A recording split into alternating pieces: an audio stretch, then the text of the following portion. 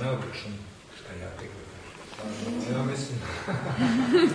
pa ne, ja mislim godina od kada je izašla knjiga, a ne život. Ovaj, mada većina onih koji su ovde ili bar jedan dobar deo nije tada rođen, ili su bili potpuno maloletni, analfabeti, manje se oni koji smo to, koji smo bili punoletni i pismeni od onih prisutnih na toj knjižnoj večeri pre 30 godina, koje je Nedeljko Mamula pomenuo, neku imence nije ni mogao, pretpostavljam da osim nas dvojice, o, trojice, pardon, možda i šapanja i možda eventualno još nekoga, da nisam svestan, nikoga mi nema ovde, nego su Ovde 70% publike su, nisu ni bili rođeni. Da, pa to su. Ali, uh, ono što hoću da kažem da je zaista pre 30 godina, evo, malo je proverio i tačne podatke, u novembru knjiga mi je izašla prva, ona je ovako izgledala istraživanje savršenstva. Tu je, ne vidi se baš dobro, mislim da mamulin primarak bolje očuvan, tu je u ovom krugu, kao u nekoj čauri, alhemijskoj materici, jedan ljubavni par i kao sunce i mesec, devica i duh, ili kako su to već alhemičari, da oni stvaraju božanstvo hermafrodita. Moja prva knjiga je bila, moj prvi roman, istraživanje savršenstva je bio u znaku tog,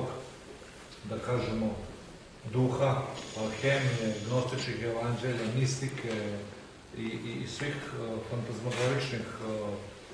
i onostranih domena koji su me tada u toj fazi mog života kao mladog čoveka privlačili. I evo sada, nakon toliko godina ponovno me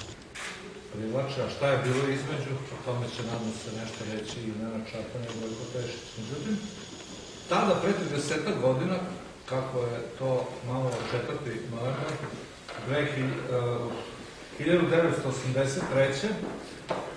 kada je bila, nakon Beogradskog presa, knjiga izašla u Beogradu u, u tada uglednoj ediciji Pegas za prvu knjigu, knjižena reč koju je ređivao Bojko Tešić, knjižna novozna Srbija je objavljivala i to je bilo jedna od najuglednijih jugoslovenskih tada edicija za prvu knjigu. Pegas, kad bi sad rekao imena svih autora koji su u Pegazu objavili, samo moje i naše generacije, pali bismo nesvest, većina su danas već istorija književnosti i a, da mi je tada neko, ovo je sve što je malo ove fragmente sećanja iznao i, i tačno, ja se sećam da je bilo publika, ja nisam imao knjige, nisam još znao tada, bio sam neiskusan kako da se odremem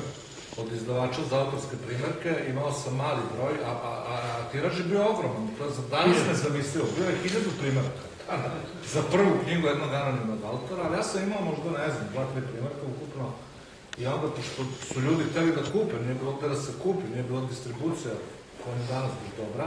onda sam ja stvarno, sam evo nisam mogao da se sedim, da sam to s mamulom analizirao, 30 godina ipak nije mali period, da li sam to učinio, ja ili on koji je isto vodio, kao i danas vodio književno veče, mamula je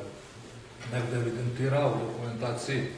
kulturnog centra, da sam to učinio ja, onda sam se okrenuo i rekao da meni je bilo nepravde, da dam nekome knjigu, a ko mi je simpatičnije, okrenut ću se i za leđana dva primjera koja imam baciti, što sam i uradio. Gde su sada te knjige i šta je sa tim svim u, u, u ovoj prošlosti, teško je utvrditi, ali da me neko tada, dakle to pre 30 godina pitao, da li očekujem da će se evo, ovo desiti danas ovde u ovako mnogo izmenjenim prostoru, jer i ne znam, mamo je rekao šta se sve od naših ovako intimnih lokacija, nekih malih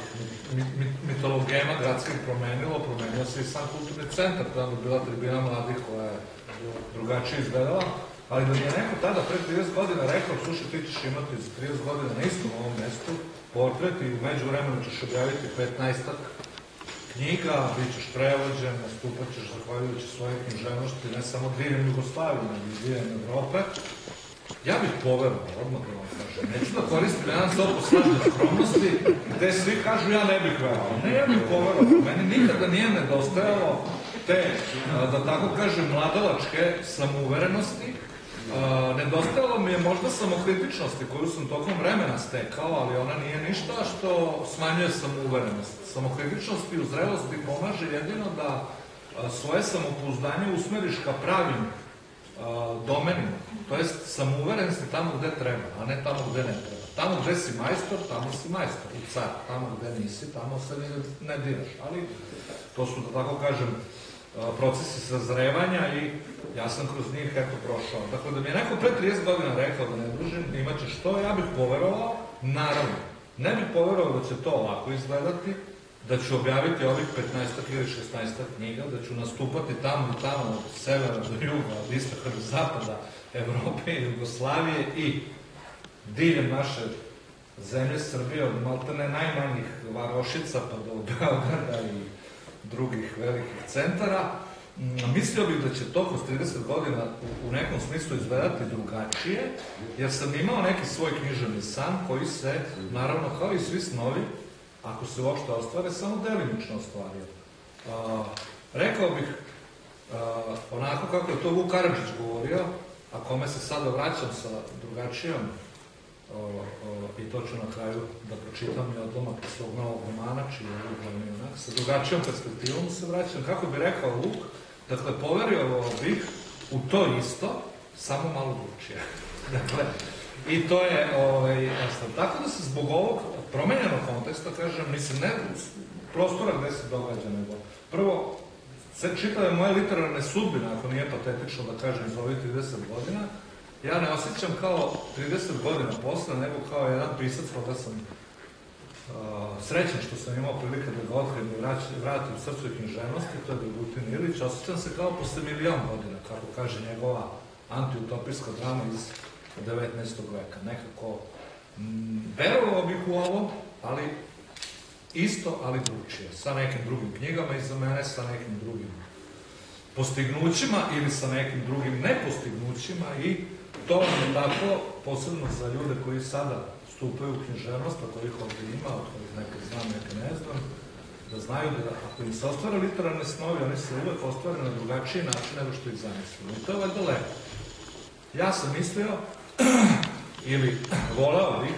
da je ta moja literarna sudbina ovih 30 godina nalikovala Odiseji, jer Odiseja je, evo još dodajemo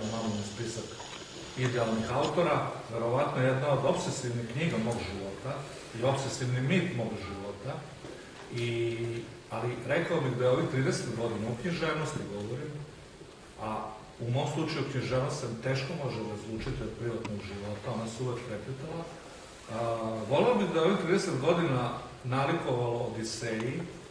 i da sam ja tu više nalikovao Homerovom junaku Odiseju i da je čitava ta metafora književnog puta bila takva, međutim, nažalost rekao bih da je mnogo više no što bih pre 30 godina mogao da poželim, ona nalikovala i Ilijadu, koju uopšte ne posebno, kao i uopšte historijske romane tog tipa. Negde između Ilijade i Odiseja, ali mnogo više Ilijade nego što sam ja želeo ili očekivao. I da ne družim sada nekim ovaj, svojim ispovednim tonom, da vam pročitam nešto, recimo,